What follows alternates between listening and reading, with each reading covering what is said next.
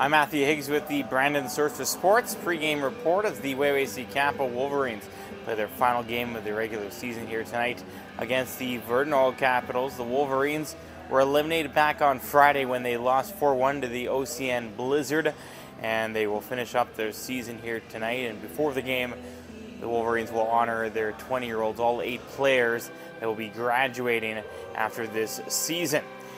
For the Wolverines lineup, just one small change uh, from Friday's game. All the same players are in on the forward side of thing as they once again they go 11 forward 7D. The one change will be Jackson Foster we put into the lineup. Meanwhile, the starting goaltender Jace Wareham gets the start for the season finale. So the Wolverines, of course, just playing for pride here tonight for their final game of the regular season. The Virden Oil Capitals are just playing in preparation for the playoffs.